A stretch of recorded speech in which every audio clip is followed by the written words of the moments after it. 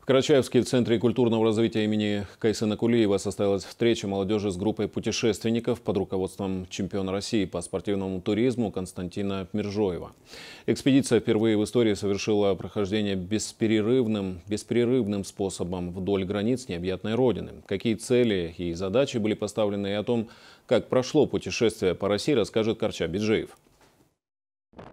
Девять человек начали свой путь с города Сочи на велосипедах. Они преодолели большой путь до Мурманска, а оттуда на научно-исследовательском судне добрались до Владивостока, на машинах до Байкала, а после пешком 500 километров. Прошли весь хребет Большой Саян и из города Кызыла, то, что находится в Тыве, снова пересели на своих железных коней и добрались до нашей республики.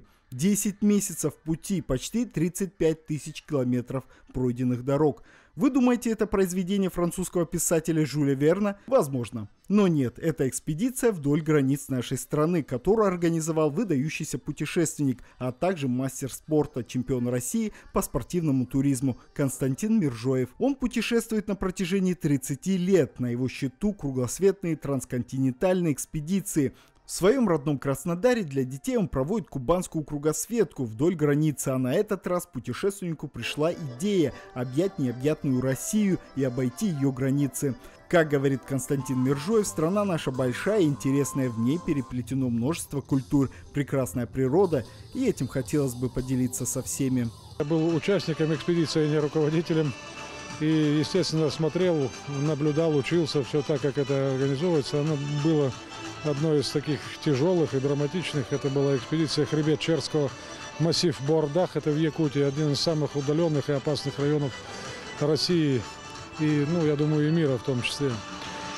Вот. За время вот этой 30-летней работы и разных экспедиций, в том, я еще раз повторюсь, в том что организации кругосветных экспедиций, уже получается, что многое знаете, и получается, что на некоторые мелочи вы не обращаете внимания, которые казались раньше не мелочами. Также в экспедиции участвовала хрупкая на вид девушка, но сильная духом Елена Галко. Это ее не первый опыт в походах. 16-летнего возраста она занималась спортивным туризмом на протяжении долгих 10 лет. С университета начались небольшие экспедиции на один или два месяца, но как только она узнала о таком масштабном походе вокруг нашей родины, то решила участвовать. Ведь, как говорит Елена, не каждый день выпадает шанс увидеть такие красоты.